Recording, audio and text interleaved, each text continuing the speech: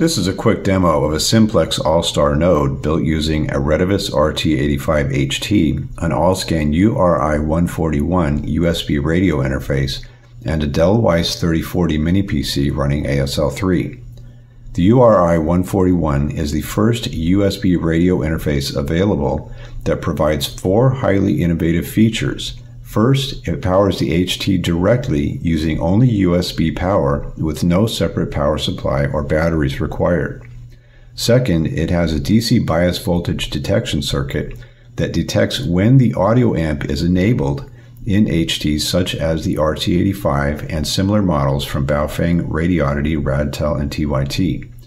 This ensures reliable CTCSS detection with no modifications, soldering, or custom firmware required. Third, it provides standard K1 2.5 and 3.5 millimeter jacks and includes all needed cables and ferrites, enabling nodes to be built with standard off the shelf components and nothing else needed. And fourth, it has an advanced power control circuit that is able to automatically power the HT on or off when ASL is running.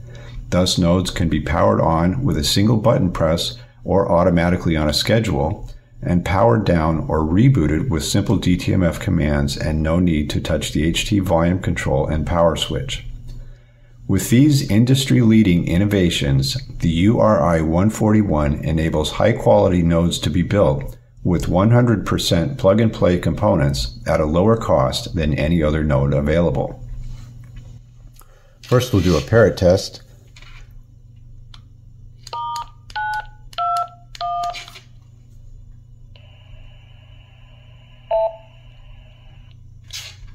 Testing one, two, three, ABC. Testing one, two, three, ABC.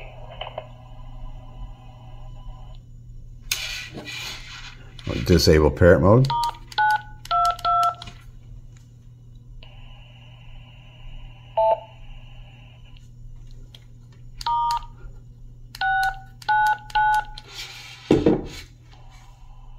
For more information on this node, other nodes, interfaces, and accessories for Allstar, Echolink, PTT Communication, and digital mode apps, visit allscan.info and be sure to check out our how-to guides and YouTube videos.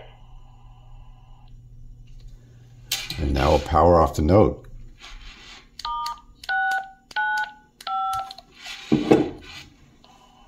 Powering off now.